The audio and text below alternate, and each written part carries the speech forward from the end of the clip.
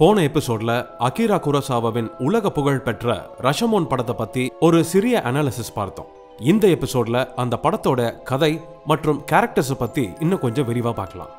ரஷமோன் பட ஆரம்பத்தில் ஒரு புத்த பிக்கும் மரம் வெட்டுபவனுக்கும் இடையே நடக்கும் உரையாடல் தான் படத்தை முன்னகர்த்தி செல்லும். இந்த படத்துல குரசாவா இயற்கையை ஒரு முக்கிய கதாபாத்திரமாகவே உபயோகப்படுத்தியிருப்பாரு.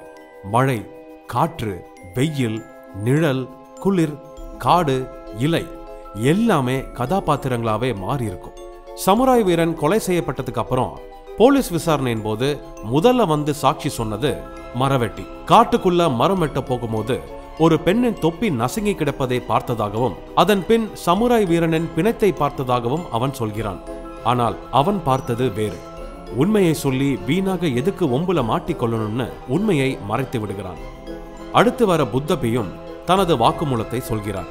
சில நாட்களுக்கு முன்பு அவர் சென்ற வழியில் சமுராய் வீரனும் அவரது மனைவியும் குதிரையில் சென்றதை பார்த்ததாகவும் மறுபடியும் அந்த சமுராய் வீரனை இனமாகத்தான் பார்த்தேன் என்றும் அவர் போலீசிடம் சொல்கிறார். அடுத்து முக்கிய குற்றவாளியா கருதப்படுற கொலைகாரன் தஜுமாரோவிடம் விசாரணை தொடங்குது.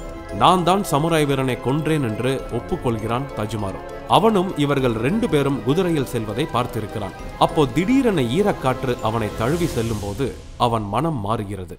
அந்த பெண்ணின் அழகை கண்டு அவளை அடைய வேண்டும் என்ற தீர்மானத்திற்கு வந்ததாகவும் அவன் சொல்கிறான். முதலில் அந்த சமுராய் வீரனை கொன்றுவிட்டு அவளை அடைய விரும்பியதாகவும் பிறகு கொல்லாமல் அவளை அடையலாமே என்று அவன் மனதை மாற்றிக்கொண்டதாகவும் அவன் சொல்கிறான். சமுராயிடம் சென்று அவனது விலை மதிக்க முடியாத கத்தியை காட்டி இதுபோல் நிறைய கத்திகள் காட்டில் புதைத்து வைத்திருப்பதாகவும் அதை சமுராய் வீரனுக்கு காட்டுவதாகவும் சொல்லி அவனின் ஆசையை தூண்டியதாகவும் அவன் சொல்கிறான். மனைவியை அந்த இடத்தில் விட்டுவிட்டு சமுராய் வீரன் தஜுமாரோவுடன் செல்கிறான். அப்போது திடீரென அவன் மீது பாய்ந்து அவனை ஒரு மரத்தில் கட்டி போடுகிறான் தஜுமாரோ. அவன் மனைவியிடம் வந்து உன் கணவனை பாம்பு கடித்து விட்டது என்று சொல்கிறான். சமுராயின் மனைவி கண் கலங்குகிறாள். அவள் மீது இருந்த ஆசை இப்போது தஜுமாராவுக்கு வெறியாக மாறுகிறது. அவளை அந்த சமுராயிடம் கொண்டு போகிறான். உண்மையை அறிந்த அவள் தஜுமாராவை கோபமாக கத்தியுடன் தாக்குகிறாள். ஒரு கட்டத்தில் அந்த மோதல் மோகமாக மாறுகிறது.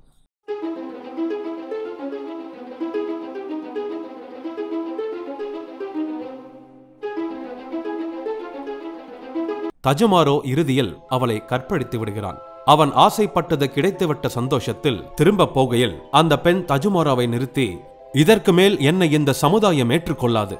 நீயும் என் கணவனும் சண்டை போடுங்கள். யார் வெல்கிறார்களோ அவருடன் நான் வாழ்கிறேன் என்று கதறுகிறாள். சண்டையும் தொடர இறுதியில் சமுராயை கொன்றுவிட்டதாக தஜுமோரோ தன் வாக்குமூலத்தை முடிக்கிறான்.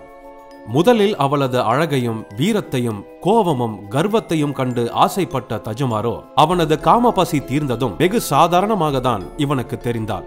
இதற்கு பிறகு சமுராயின் மனைவி அவள் தரப்பு வாக்குமூலத்தை சொல்கிறாள். தஜுமாரா சொன்னதற்கு நேர் எதிர்மாறாக இருக்கிறது அந்த வாக்குமூலம். ஆனால் அவள் கதையின்படியும் தஜுமோரா தான் குற்றவாளி. ஒரு கட்டத்தில் இறந்து போன சமுராய் வீரனின் ஆவி தனது வாக்குமூலத்தை முன்வைக்கின்றது. இதன்படி அவன் மனைவிதான் குற்றவாளி என சொல்கிறது அந்த ஆவி. இறுதியில் யார் குற்றவாளி என்று ஒருவருக்கொருவர் யூகித்துக் கொண்டிருக்கையில் இந்த கட்டத்தில்தான் குரோசோவாவின் திரைக்கதை ஆளுமை தென்படுகிறது. அதை இங்கு சொல்வதற்கு பதிலாக நீங்கள் படம் பார்த்தால் உணர முடியும். மீண்டும் அடுத்த வாரம் வேறொரு உலக சினிமாவை பற்றி பார்க்கலாம். அது வரைக்கும் இந்த வீடியோ உங்களுக்கு பிடிச்சிருந்தா லைக் பண்ணுங்க ஷேர் பண்ணுங்க அண்ட் மறக்காம சப்ஸ்கிரைப் பண்ணுங்க.